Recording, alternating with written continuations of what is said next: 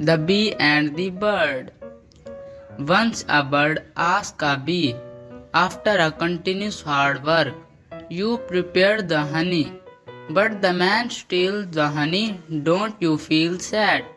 Then the bee replied, No, because a man can only steal.